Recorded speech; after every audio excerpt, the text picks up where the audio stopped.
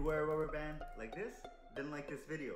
But if you can't spin a basketball on a rubber band like this, so I need to roll it up to make it thick. Can I do it, guys? Can I do it? Here we go. I made it thick.